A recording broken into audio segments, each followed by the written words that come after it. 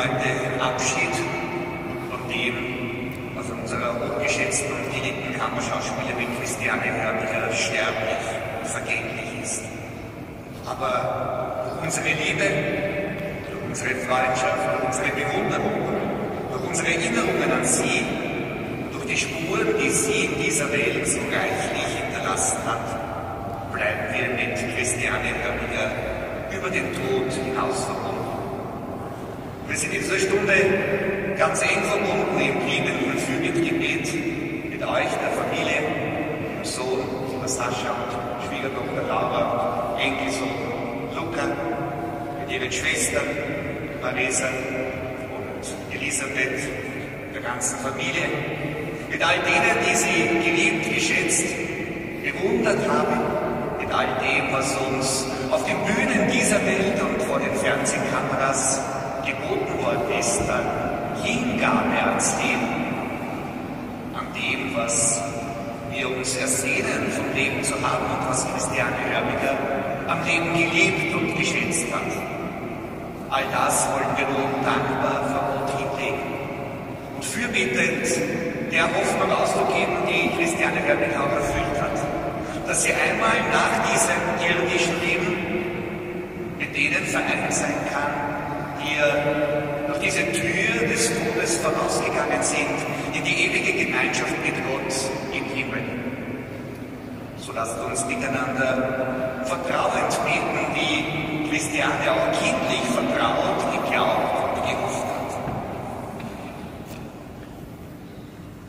Die Trauer kann in Vertrauen verwandelt werden.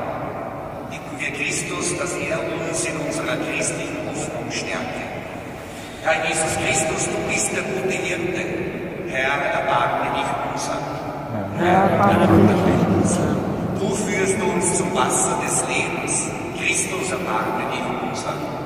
Christus, erbarme dich unser. Du bist bei uns im Leben und im Tod. Herr, erbarme dich unser. Herr, erbarme dich unser. Lasset uns beten. Herr, unser Gott, Dein Sohn, unser Herr Jesus Christus, hat am Kreuz sterbend die Arme ausgebreitet. Er hat die Macht des Todes gebrochen und uns die Auferstehung kundgetan. Am Ende des irdischen Weges von Christiane Herbiger bitten wir dich. Führe du sie aus dem Dunkel des Todes und vollende sie in deinem Licht.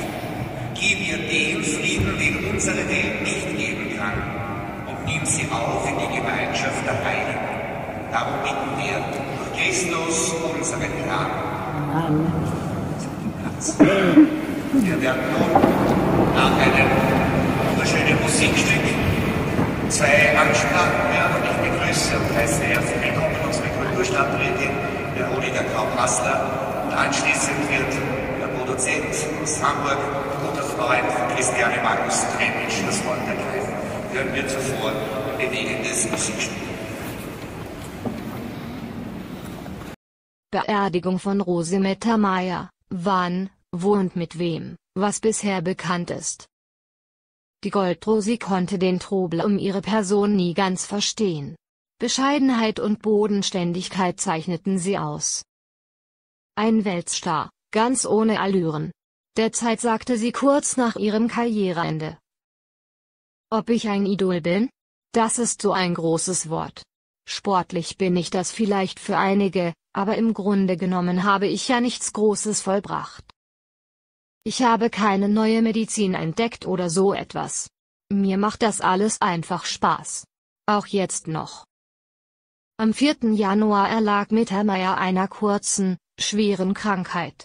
Sie sei im Kreise ihrer Familie friedlich eingeschlafen, wie ihre Familie die Todesnachricht am 5. Januar bestätigte. Sohn Felix Neureuter verabschiedete sich mit bewegenden Worten von seiner Mutter.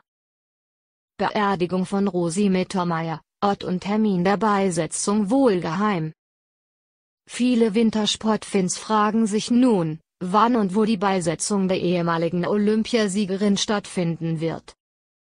Dies bleibt jedoch offenbar geheim. Mittermeiers letzter Wunsch sei es nämlich gewesen, keine öffentliche Trauerfeier zu veranstalten. Sie wolle im engsten Kreis in ihrer Wahlheimat Garmisch-Partenkirchen beerdigt werden, wie Markus Wasmeier, ein enger Freund der Familie, der Bild verriet. Sie wollte keinen Trubel, begründet Wasmeier ihren Wunsch. Auch er wird gemeinsam mit seiner Frau Teil der Trauergemeinschaft sein. Nach Informationen der Zeitung soll sie ihre letzte Ruhe neben ihren Schwiegereltern Margarete und Gottfried Neureuter finden. Wann genau die Ski-Ikone bestattet wird, ist auch nicht bekannt.